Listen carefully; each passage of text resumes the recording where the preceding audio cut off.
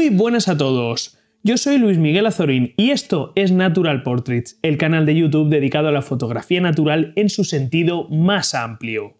Amigos, esta semana os traigo un vídeo que me habéis pedido un montón, y no es para menos.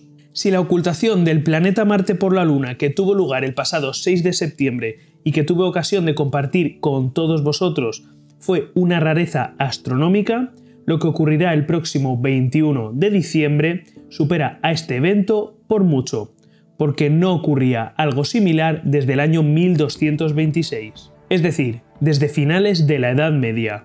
Se trata de la gran conjunción entre el planeta Júpiter y Saturno.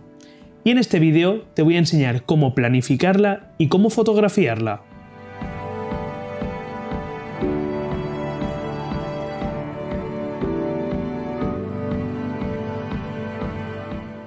Sí, amigos, habéis oído bien, la última gran conjunción que se produjo entre estos dos planetas ocurrió hace casi 800 años. Pero, ¿qué es esto de una gran conjunción? En realidad una conjunción es simplemente cuando en el cielo se alinean varios objetos astronómicos ópticamente.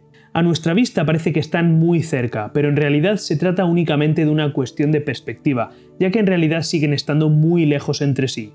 Lo que ocurrirá el próximo 21 de diciembre no deja de ser una conjunción más, pero en este caso se le llama gran conjunción porque ambos planetas van a estar tan cerca entre sí que a simple vista, a nuestros ojos, va a dar la impresión de que solamente hay un planeta.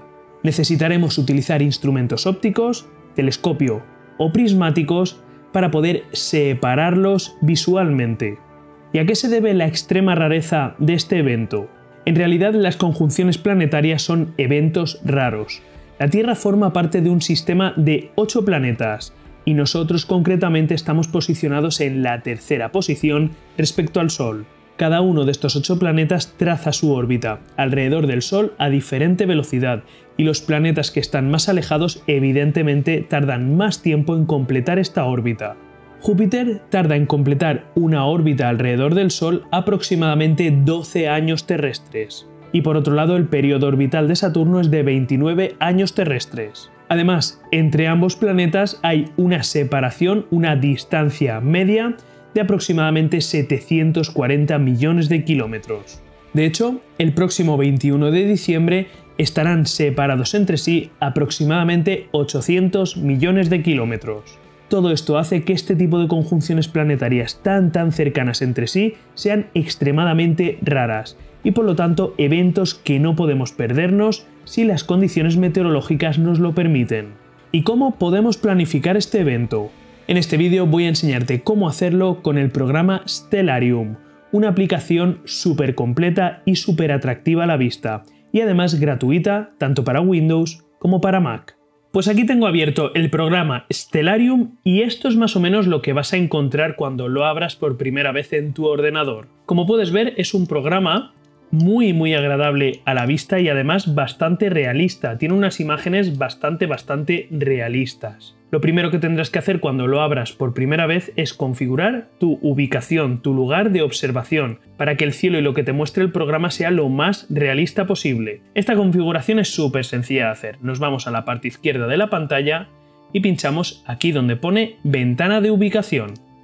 Como puedes ver se nos abre un mapa mundi donde lo único que tendrás que hacer es pinchar sobre tu país, en este caso España, y en este apartado de buscador que tiene la ventana podrás poner tu localidad. En este caso mi localidad es Elda, en la provincia de Alicante. Y aquí la tenemos. Como puedes ver, el propio programa desde la base de datos ha cogido todos los datos de mi localidad, la latitud, la longitud y la altitud.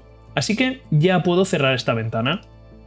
Ahora tengo configurado exactamente el cielo desde mi lugar de observación, así que lo siguiente que voy a hacer va a ser irme directamente la fecha y la hora exacta a la que se va a producir esta gran conjunción. Esto lo voy a hacer también desde aquí, desde la parte izquierda de la ventana, justo debajo de la ventana de ubicación donde tenemos la ventana de fecha y hora.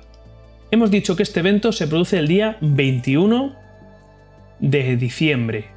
Y la hora que tenemos que configurar es aproximadamente la hora a la que pensamos observarlo o fotografiarlo, ya que la conjunción durará varias horas. El mejor momento para observar y fotografiar este evento será durante el atardecer, justo cuando esté empezando a anochecer. Y en esta fecha y desde mi lugar de observación, esto se producirá aproximadamente a las 6 de la tarde.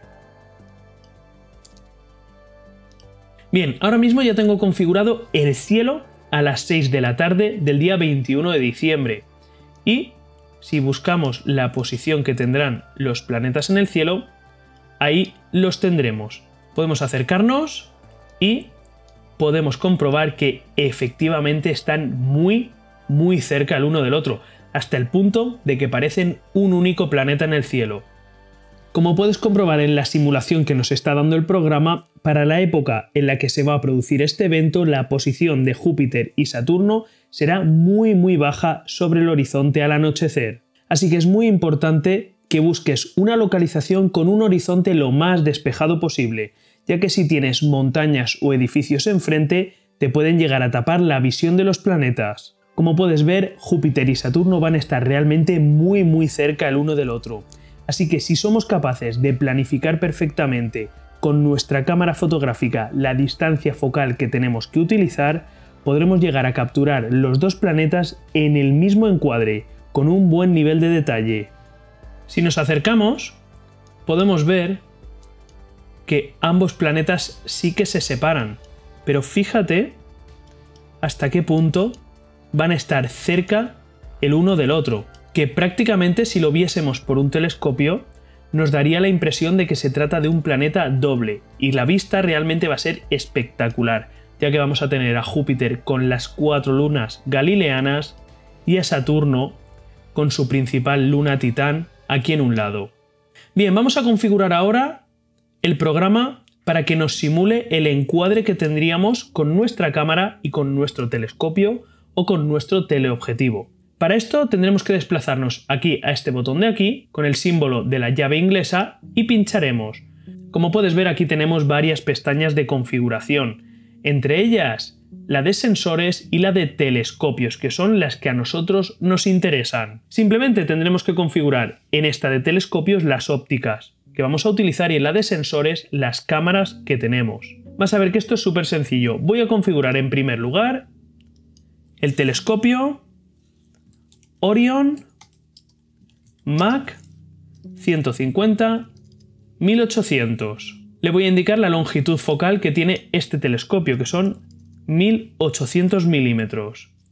Y le voy a indicar el diámetro, la apertura del telescopio, 150 milímetros. Y ahí tendría ya el telescopio perfectamente configurado. Voy a configurar también el Skywatcher 72 ED. Simplemente pincho en añadir y pongo el nombre. Skywatcher 72 ED. El 72 ED tiene una distancia focal de 420 milímetros y una apertura de 72 milímetros. Y por último, voy a configurar también el teleobjetivo, el Sigma 70-300 APO.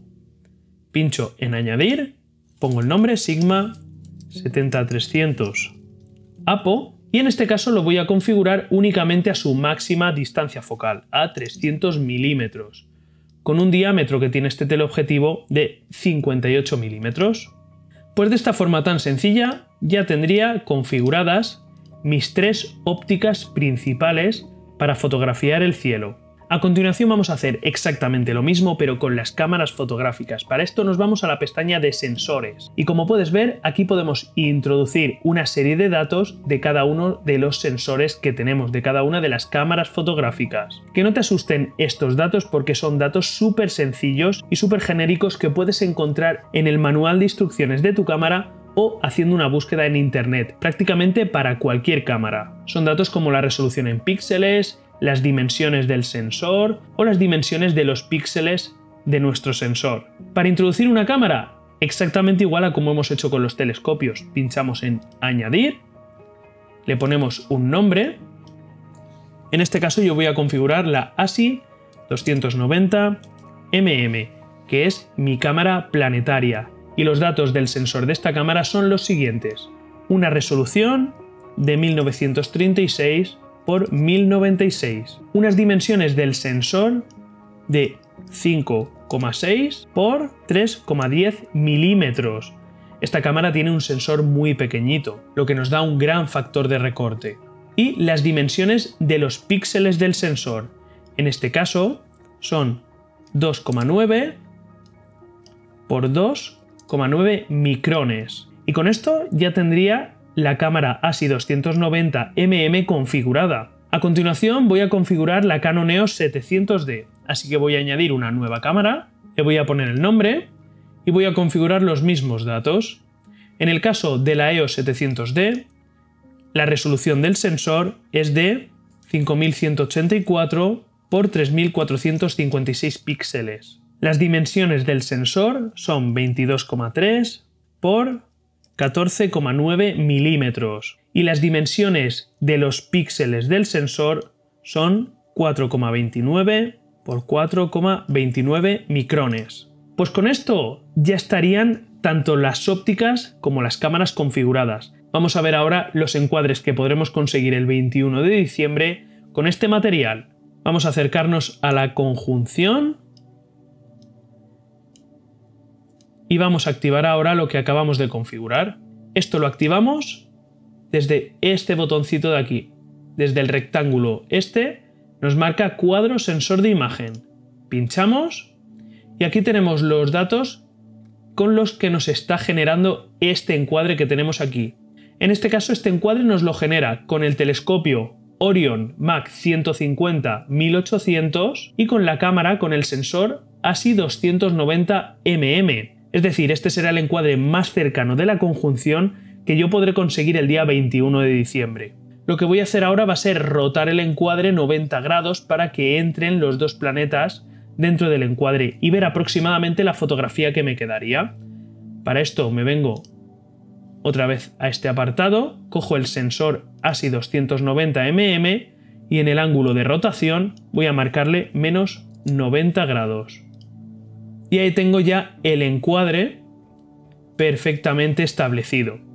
Como puedes ver con esta configuración de telescopio Maxutov de 150 y la cámara ASI 290 mm, podría fotografiar la conjunción con bastante detalle y capturando los dos planetas dentro del encuadre. Vamos a ver ahora el encuadre que obtendríamos con la EOS 700D con la cámara reflex y con el telescopio Skywatcher 72D. Para eso pinchamos en este botón de aquí y cambiamos de telescopio, ahí tenemos Skywatcher 72D y pinchamos aquí y cambiamos de cámara. Como puedes ver, el encuadre que nos da la cámara reflex con el Skywatcher 72D es un encuadre mucho más amplio, pero en este caso ya no necesitaríamos rotar la cámara y podríamos capturar perfectamente el planeta Júpiter con sus cuatro lunas y Saturno en la parte de arriba Incluso con un poquito de suerte podríamos llegar a discernir el anillo de Saturno dentro del encuadre. Y por último, podría simular el mismo encuadre, pero con el teleobjetivo Sigma 7300 APO. Eso es lo que me daría mi cámara reflex con el teleobjetivo a 300 milímetros. Como puedes ver, aunque aquí ya los planetas quedan bastante pequeñitos, podríamos llegar a resolver las lunas de Júpiter sin ningún problema y resolveríamos igualmente la conjunción. Ahora imagina que además de tu teleobjetivo y tu cámara fotográfica vas a utilizar también un duplicador. ¿Puedes simular el efecto de este duplicador con este programa? Pues sí que puedes hacerlo. Para esto nos vamos otra vez al apartado de configuración y tienes una tercera pestaña llamada lentes. Aquí puedes configurar diferentes lentes, lente de Barlow por 2, lente de Barlow por 3 que hace el mismo efecto que un duplicador o en este caso un triplicador o un reductor focal, por ejemplo. Una lente de Barlow por 2 lo que hace es multiplicar por 2 la distancia focal de la óptica que estamos utilizando. Podríamos incluso renombrar la Barlow y poner duplicador. Lo único que tendríamos que hacer sería activarlo en nuestra simulación de encuadre. Para esto aquí donde pone lente ninguno, pinchamos a la derecha y ahí tendríamos el duplicador activado. Y este sería el nuevo encuadre que me proporcionaría, en mi caso, un teleobjetivo de 300 milímetros de distancia focal con mi cámara fotográfica Canon EOS 700D y una lente duplicadora. Amigos, como habéis visto en este vídeo, os he proporcionado un montón de información para que vosotros mismos podáis planificar vuestra sesión de fotografía de la gran conjunción entre Júpiter y Saturno que se producirá el próximo 21 de diciembre. Es evidente que cada uno dispondréis de un equipo diferente, unos podréis fotografiar a más distancia focal y otros a menos, unos fotografiaréis con cámara reflex y otros tendréis cámara astronómica dedicada. Pero lo más importante es que seáis capaces por vosotros mismos de planificar esta sesión de fotografía para tratar por todos los medios de fotografiar esta increíble rareza astronómica que podremos disfrutar a finales de este año. Yo mismo voy a intentar fotografiarlo y compartirlo con vosotros de igual manera a como hice con la ocultación del planeta Marte tras la Luna. Aún así, espero que todos podáis disfrutar de este evento astronómico y que la climatología se porte bien con vosotros. Y amigos, hasta aquí llega un domingo más el vídeo de Natural Portraits. Si te gusta este tipo de contenido y todavía no estás suscrito en el canal, puedes hacerlo ya mismo pinchando en este botón que te dejo por aquí. No olvides activar la campanita.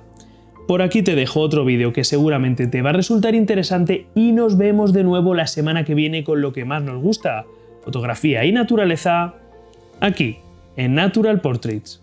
Adiós.